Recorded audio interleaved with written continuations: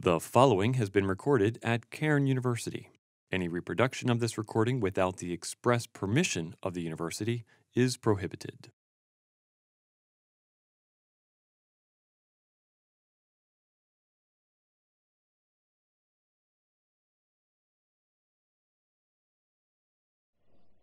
loving kindness, merciful love, loyal love, sure love, relentless love, enduring love, extravagant love, affectionate satisfaction, love in action, dependable love, steady love, true, fundamental love, miracle love, generous love, deep love, wonderful love, great love, incredible love, marvelous love, gracious love, loyal in love, steadfast love, tons of love, loving instruction, loving deeds, covenant love, covenant of love covenant faithfulness, covenant deeds of love, covenant friendship, covenant commitment, gracious covenant, loyal, loyalty, covenant loyalty, loyal faithfulness, great loyalty, unswerving loyalty, loyal mercy, loyal service, kindness, kindly, divine kindness, loyal kindness, godly kindness, merciful kindness, great kindness, everlasting kindness, mercy, mercy work, mercy feeling, miracle mercy, generous mercy,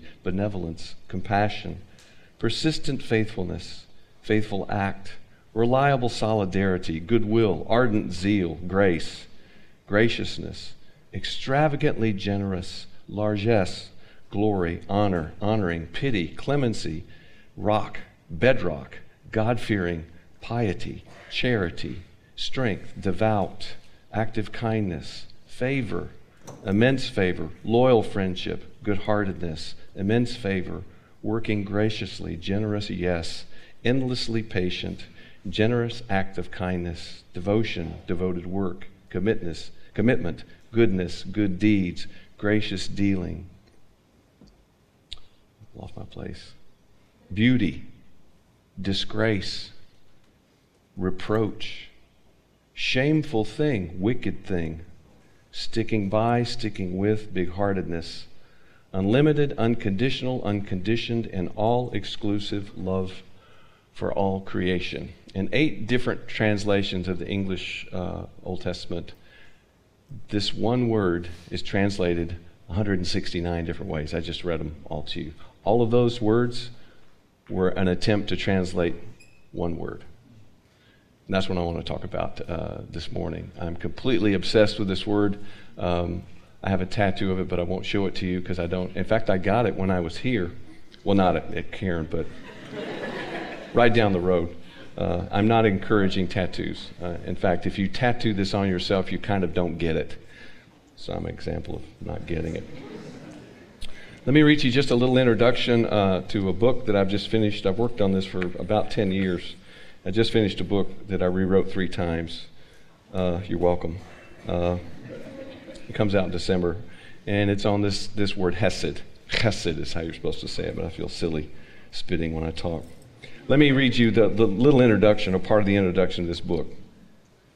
The most profound mysteries are not found hidden away in remote secret places. They are mostly an unrecognized part of everyday life. I'll read that again. The most profound mysteries are not found hidden away in remote, secret places.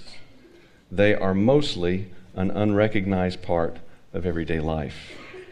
We fret over mowing the lawn and miss the deep mystery of how the grass grows. We seek to hush a weeping baby, but rarely ask where tears come from or what they could possibly mean. Most mysterious of all are the sounds we make with our teeth and tongue, the symbols we scratch across a legal pad and peck out on a keyboard. They seem the most ordinary part of our world, words, but they are a mystery. At this moment, I'm writing them and you're reading them. The thoughts that my word elicit in your own brain are composed of words. In fact, you can't think without words. Uh, this book, this, this is the introduction to, is founded on this inexpressible mystery in general and upon ha- perhaps the most mysterious and inexpressible single word of all, uh, the Hebrew word hesed, chesed.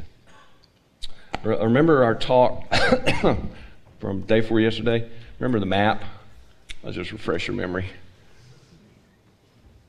um, that the Bible's taking us someplace. Uh, this is Genesis, Revelation, um, Psalm, uh, it's a, uh, Job, Job 1, Job 43 or something. I don't remember the number. Numbers have no meaning for me, absolutely none. Uh, Psalm 1 and Psalm 150. Okay? So this is, the, this is the journey the Bible's taking us on from Torah, Torah obedience, obedience, to intimacy with God, with an experience of His presence. See, okay? And the middle part of this journey is what? Wilderness. Okay. These are the categories. Uh, and I told you that the, the Torah, which is good and perfect because God gave it to us, uh, is I'm expressing it as an equation, which is a vast oversimplification. But if you're obedient, God will bless you. If you're disobedient, God will punish you. Okay. And what I want to talk about, and I'll let you see it, this is Hesed. Hesed. Um, um, in my way of thinking, I suggest to you that Hesed is the last part of this equation. That's what I'd like to, I'd like to look at. Okay. I already told you 169 different uh, translations. Uh, the two major formulae uh, in, in, Judaism uh, both have this word in it. Uh, the first one is that God is slow to anger and rich in Hesed. Uh, the second formula, which is sort of Israel's in God we trust. I mean, Israel will say this phrase and their enemies will start killing each other. It's incredible. Okay. Second formula is that God is rich in, uh, that the Lord is good, Tov, and his Hesed endures forever. Those are the two uh, formulas, the formulae that uh, kind of tie the Old Testament together. Very important.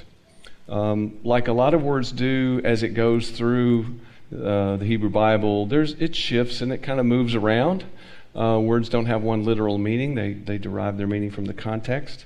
So in Genesis, in general, and this is vast oversimplification, in Genesis in general, chesed is uh, a favor that's unexpected. Genesis 19 19 is the first time the word appears in the Bible, and Lot is asking the angels for a favor. Let me go to this city because it's close by. Do me, do me a hesed. Okay? He has no right to expect it, but he sort of hopes that the angel will do this for him. In, in Exodus, it, it only appears five or six times. Uh, but in Exodus, it, it, it, it's the word, and this is a passage we're going to look at. In Exodus 34, it's the word that God uses to define himself. So, kind of important. And we'll look at that passage. Uh, in the historical books, Hesed, by and large, uh, describes a relationship between two people, usually David and someone, somebody else. And it's this, this relationship that has a certain amount of expectation. If I show you Hesed, you're supposed to show me Hesed. That's kind of how it works. Uh, Mephibosheth, right? Is there anyone left in Saul's household that I can show kindness to, grace to, mercy to? So, in, in general, in the, in, the, in the wisdom books, uh, it, it, it, has to do with this relationship. Uh, in the Psalms, where it appears most often, it's sung. Hesed is something you sing about. In fact, when Asaph receives his, his marching orders, he says, This is what you're going to sing about. The Hesed of the Lord endures forever. That's your theme. And so in uh, most of Asaph's Psalms, uh, that, that comes up. And the prophets, where the, the word doesn't happen as much, but it, that doesn't mean it's not as important, the prophets basically talk about how our Hesed is pretty thin. It vanishes in the morning like dew. I think Hosea says that. Uh, but they talk about how strong God's Hesed is. That's very important. Um, Okay, that's sort of a over, quick, vast oversimplification uh, overview of this, this word. I'm just trying to get you interested in it. Um, one other, yeah, one other sidebar. One of the things that Hesed does, which is uh, unique, uh, it does more than any other word, is it draws other words to it, which is really cool. I, I, call this linguistic gravity. You know, the bigger a star is, the more gravitational pull it has. You know, um, and Hesed means so much that writers have to use other words to help you understand it. And there are basically seven other words that it draws to itself. So these are related to Hesed, but they sort of help hi- highlight it. They, they, orbit around Hesed. The, the, the word that happens most often is truth, emet. Uh, grace and truth. When God reveals himself to Moses in Exodus 34, he says, I'm full of chesed va'emet, grace and truth. And then when John reveals who Jesus is in first in John uh, chapter 114, what does he say Jesus is full of? Grace and truth. Same thing. Okay. Uh, uh, another one of the words is, is mercy, uh, covenant, justice, faithfulness, goodness, which is a much bigger word in Hebrew than it is in English. Uh, favor, righteousness. These are just words that it pulls to itself. Okay, so let's let's look at the, the Exodus passage, and and then I want to look at one passage in the New Testament where it comes in, and I'll shut up. Okay, Exodus 34. Excuse me. Well, I bet that hurt. Uh, Interesting to me is the, the, to compare the levels of intimacy between Exodus uh, 19, the first time Moses goes up the mountain and gets the tablets and gets mad and throws them and busts them, and the second time he goes up in 34. To compare the levels of intimacy in those two stories, it's really, it's really powerful. Uh, and the first time when he comes down, his face isn't shining, but the second time it is. So something really unique happened that, that affected that. And I think what happened is God revealed himself as a God of Hesed. Um, but this is Exodus uh, 30, uh, 34 5. The Lord came down in a cloud, stood with him there, and proclaimed his name. You know, the Lord. The Lord passed in front of him and proclaimed, The Lord, the Lord, is compassionate and gracious. He's a compassionate and gracious God. When God defines himself, the first word out of his mouth isn't holy or powerful or all knowing or all those things the first word out of his mouth, Raham. He's compassionate. Okay? He's compassionate. What's the surprise of the New Testament? The surprise of the New Testament is that when Jesus comes, he's a slave. He dies like a slave. He washes their feet. That's the big, he, he, he, he, he emptied himself and take, took on the form of a doulos, a slave, Paul says. The surprise of the, of the Old Testament, of the Hebrew Bible, I think, is that God is kind. That's the big surprise all powerful. I get that, right? That's what, you know, God is all powerful and He's holy. I can't touch a mountain, the bottom of a mountain that He's on the top of. He's so holy. Okay? I get that. But that He's kind? Nobody saw that coming. In all the vast literature of you know, the hymns to other pagan gods, they never use the word kind. This was a, a new thing. So I'm, I'm, I'm, uh, I, I'm, I'm compassionate and gracious Slow, here's the formula slow to anger and abounding in hesed and truth. There's that, it draws this word hesed to it. Maintaining, and here's the word again, he uses it twice maintaining hesed to a thousand generations. And in Hebrew, it basically said showing hesed to thousands. Thousands. Um, forgiving iniquity, rebellion, and sin, the whole range of things we can do wrong iniquity, rebellion, and sin. So that's, that's part one of his revelation I want to focus on. We don't have time to look at it, but part two is just as important. But he will not leave the guilty unpunished. So, yes, is he compassionate? Yes. Is he gracious? Yes. Does he show Hesed to a thousand generations? Yes. Uh, and that's where a lot of people stop in their understanding of God. But you need to know the second part of, of his revelation because of his holiness he doesn't leave the guilty unpunished. Okay? Bringing the father's iniquity, and let me, let me translate this better bringing the consequences of the father's sin on the children and grandchildren to the third and fourth generation. The Bible's very clear. We, get, we don't get punished for other people's sin. The soul that sins is the soul that will die. Uh, but he visits the consequences of their father's sin because that's the nature of sin, and it's actually another part of his grace. In just a few uh, uh, verses, they will, they will refuse to enter the promised land. Okay? So they go back into, the, back into the wilderness for 40 years, and what happens? The two generations following experience the consequences of their father's sin, but they enter the promised land. My father was a workaholic. He was a doctor, he was gone all the time. I experienced the consequences of my father's sin. And that's a blessing from God. Right? It's a blessing from God that helps me see, you know, I don't want to be that guy. I don't want to be like that guy. Okay. But here's what I want you to see verse uh, 8. Moses immediately knelt low to the ground and worshiped. What's the first thing Job did, when he found out uh, his children had died? He worshiped. What's the first thing David found out when he found out the little boy had died that he and Bathsheba had had? He worshiped. What does uh, Moses do when God reveals himself to him? He worships. And this, by the way, all happens in the wilderness. They just got there. This happens in the wilderness. That's where worship happens, is in the wilderness, where it begins anyway. But what I want you to know here, here's the biggie right there.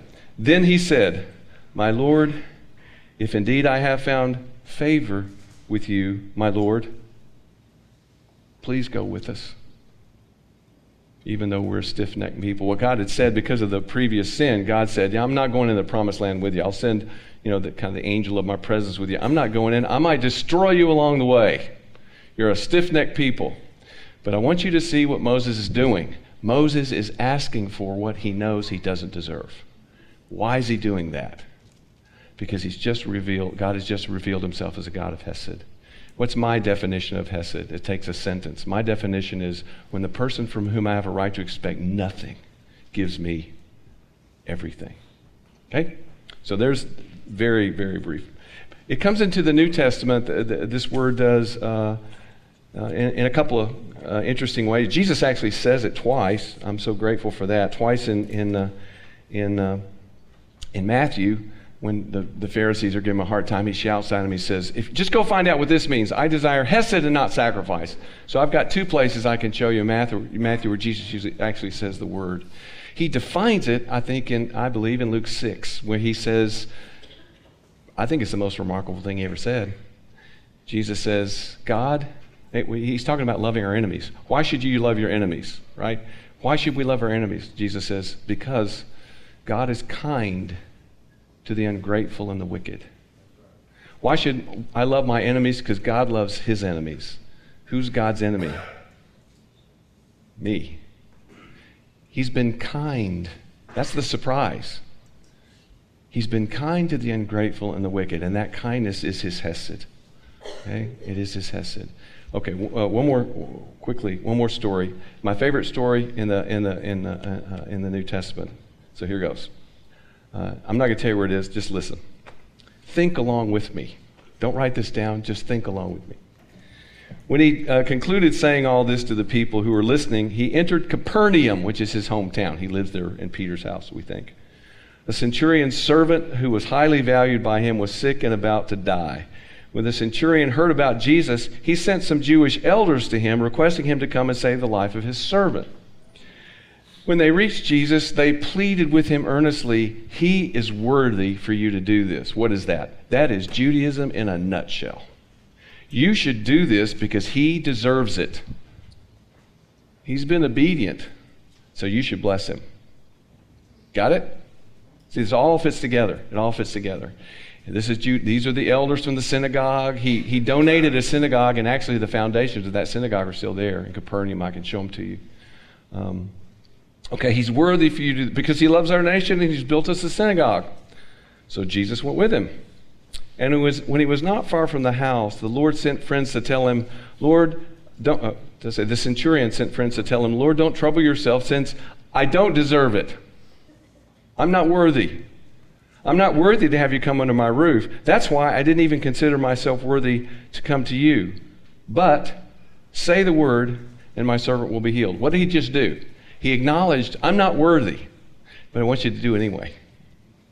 Do you get that? I'm not even worthy to have you come to my house. I'm a Gentile. You know why Jews won't go into Gentile homes? Because Gentiles uh, practice abortion, and uh, Jews look upon a Gentile home as a tomb. You don't go into the, the, the house of a Gentile. Jesus, uh, Peter goes into a Gentile home, and the first thing he says is, "You know I'm not supposed to be here. I don't go to. I, we don't go into Gentile homes." So this, this Gentile centurion tells Jesus, I'm not worthy to even have you come to my house. So just say the word. See, that's what Moses did. When Moses realized that God was a God of Hesed, he asked for what he didn't deserve. This centurion uh, asked for what he doesn't deserve because he has somehow uniquely linked himself. Uh, he's, a, he's a God-fearer. We'll meet a lot of them in Acts. He keeps the pillars of Judaism. He gives to the poor. He fasts and he prays, that sort of thing. But he understands God in a, in, in, in a unique way. He understands that he can ask for what he doesn't deserve. So you just say the word, and my servant will be healed. And then he gives Jesus a little speech on authority, which I find interesting. This is a man who will fall on his sword if his commanding officer tells him to do so, so he knows about authority. I too am a man placed under an authority, having soldiers under my command. I say to this one, go, you better believe he goes. I inserted that. And I say to this one, come, you better believe he comes. I say to my servant, do this, you better believe he does it. You don't say no to the commanding officer, you just do it. Even if he says, you fall on your sword. You pull your sword out and you fall on your sword. That's the Roman army. See, this guy says, I understand authority and you've got it. So just say the word. Okay, sidebar. Luke is the gospel of amazement. He, he exhausts the language of amazement. There are five different words that can be translated amazement. Luke uses all five of them, and he usually puts the two of them together. They were astonished and amazed. That's Lucan language. To this point, everyone's been amazed. The shepherds, the wise men, Jesus' mom and dad, everyone's amazed. Everyone but Jesus.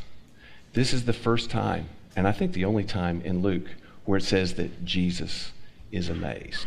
Okay? So when he said this, or when Jesus heard this, he was amazed. Amazed. That's a great word. You know what it means?